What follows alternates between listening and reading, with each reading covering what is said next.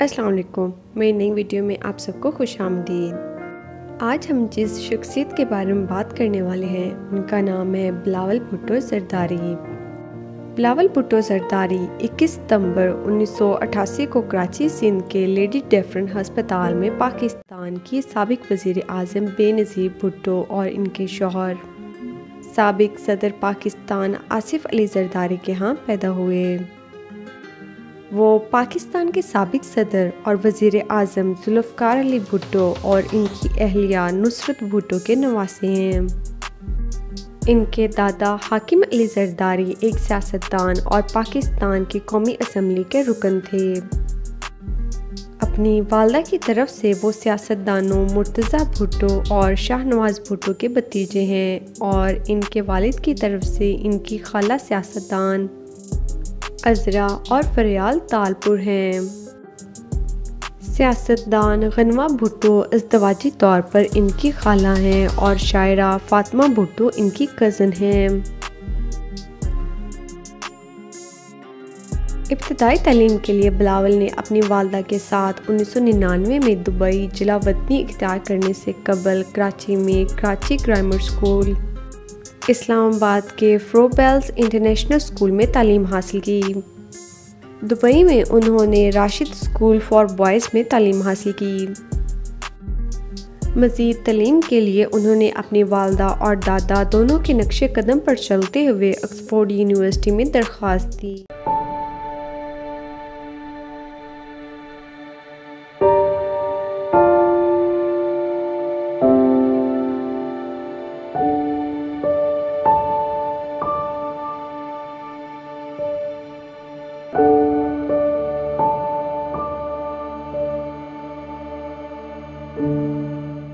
जहाँ इन्हें Christ Church में मॉडर्न हिस्ट्री एंड पॉलिटिक्स पढ़ने के लिए कबूल किया गया। और 2012 में बैचलर ऑफ़ आर्ट्स की डिग्री हासिल की। बिलावल को 30 दिसंबर 2007 को 19 साल की उम्र में पाकिस्तान पीपल्स पार्टी का चेयरमैन मुकर किया गया। इस मौके पर उन्होंने अपनी शहीद वालदा को याद करते हुए कहा कि मेरी वालदा ने हमेशा कहा है कि जमहूरीत बेहतरीन इंतकाम है। 28 जून 2018 को पाकिस्तान पीपल्स पार्टी बिलावल की क्यादत में पहली सियासी जमात बन गई, जिसने 2018 के आम इंतबात के लिए अपने इंतबी मंशूर की नकाब कशाई की।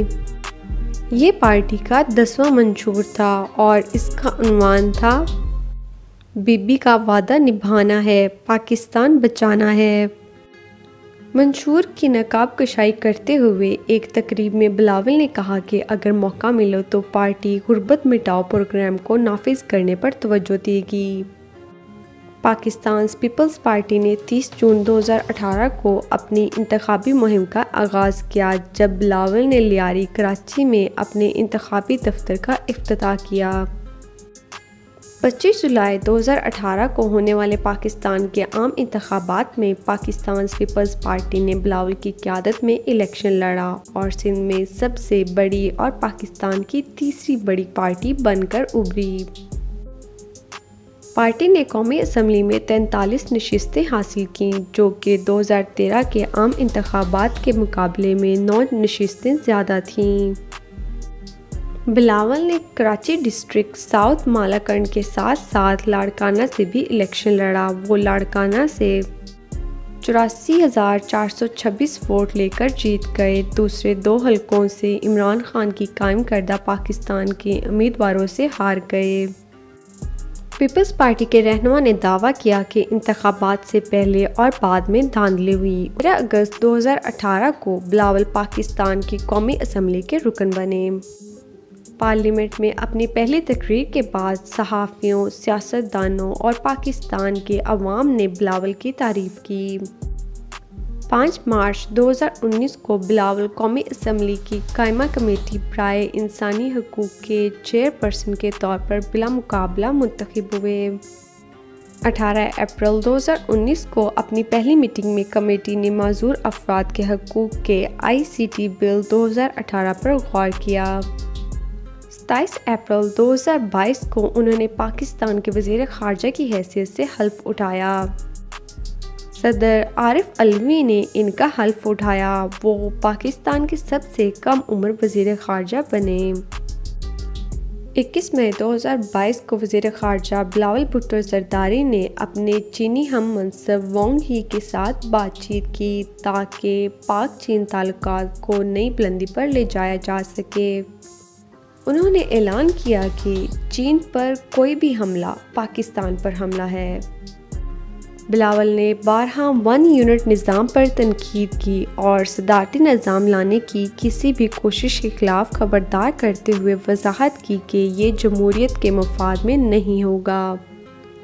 सताईस अप्रैल 2019 को एक कॉन्फ्रेंस में एक प्रेस गुफ्तु के दौरान उन्होंने कहा सदारती निज़ाम ना तो मुल्क के मफाद में है और ना ही वफाक और तमाम जमहूरी क़वतें ऐसे किसी भी इकदाम की मजामत करेंगी। उन्होंने मज़ीद कहा कि सदारती तर्ज हुकूमत जहाँ कहीं भी नाकाम हुआ है, इसे नाफिज किया गया था। हमारे कवानीन में रेफरेंडम कराने का कोई बंदोबस्त नहीं है। बिलावल पुरअमन तरक्की पसंद, खुशहाल, जमहूरी पाकिस्तान के पुरजोर हामी हैं, जिसे वो अपनी वालदा का विजन कहते हैं। वो ख़वान को बाख्तियार बनाने के ज़बरदस्त हामी हैं और ख़वान को बाख्तियार बनाने में यकीन रखते हैं और इन्हें तमाम मामला में आगे बढ़ाने ही मुल्क की तरक्की की वाद ज़मानत है। सतारह मार्च 2019 को बिलावल ने शीमा करमानी की क्यादत में ख़वान के हकूक़ के कारकुनों के एक वफद से मुलाकात की और इनके मकसद के लिए अपनी हमायत का यकीन दिलाया। बिलावल ने बारहा पाकिस्तान में 4 दिसंबर 2012 को अकलीतों के हकूक़ का दिफा किया है। 20 सितंबर 2014 को मुल्तान में पार्टी कारकुनों से खिताब करते हुए बिलावल ने कहा मैं कश्मीर ये सब वापस ले लूँगा और मैं इसमें से एक भी नहीं छोड़ूँगा, क्योंकि दूसरे सूबों की तरह ये भी पाकिस्तान का हिस्सा है। 18 फरवरी 2018 को वाशिंगटन में एक तकरीब से खिताब करते हुए बिलाल भुट्टो ने कहा कि पाकिस्तान में दहशत गर्दी में इजाफा हो रहा है और जमहूरीत इंतहा पसंदी पर जीत सकती है, लेकिन सबसे बड़ी जंग नज़रियात की है। जंग, जदीदियत और इंतहा पसंदी के दरमियान है। सात मार्च 2019 को सूबाई कौंसिल के इजलास के दौरान बिलावल ने कहा, मैं नेशनल एक्शन प्लान पर अमल दरामद के लिए मुश्तर पार्लियामानी कमेटी का मुतालबा करता हूँ। और तीनों वफाकी वज्रा को शिद्दत पसंद तंजीमों से ताल्लुक़ रखने पर हटाने का मुतालबा करता हूँ। अगर हमारे मुतालबात ना माने गए तो हम एहतजाज करेंगे। हुकूमत के किसी इकदाम की हमायत नहीं करते। और ये थे बिलावल भुट्टो जरदारी की ज़िंदगी के बारे में कुछ दिलचस्प हकायक।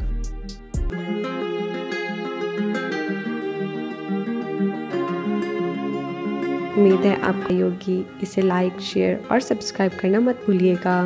और नीचे दिए गए बेल आइकन बटन को भी प्रेस कर दें ताकि हमारी हर नए आने वाली वीडियो से आप लुत्फानंदोज़ हो सकें। शुक्रिया।